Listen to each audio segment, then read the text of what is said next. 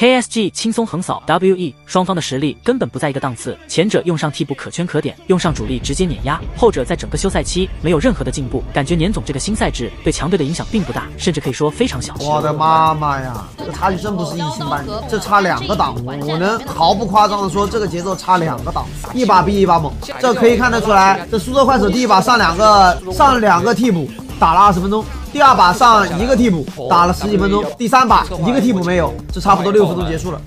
造孽！然后葛 mini 还爆出新瓜，亚洲杯的比赛取消了。这对于一诺而言是一个相当不好的消息，因为亚洲杯是跟亚运会一样的，需要经过一个选拔。以一诺目前的状态而言，他是很有机会再次被选中的。要是换到明年开打亚洲杯，不确定性就太大了。不过这样奶茶就不用去备战其他比赛，专心把 AG 的年总跟挑战者杯搞好就行。只能说有利有弊吧，大家觉得呢？亚洲杯在年总之后，年度总决赛打完，立马会有有一个亚洲杯集训时刻，有一大批的高手去做一个集训，去做一个选拔，就跟。亚运会一样没有了吗？取消了，我的信息慢了。亚洲杯取消了，没有了。哇，这说没这亚洲杯说没有了就没有了，人才啊！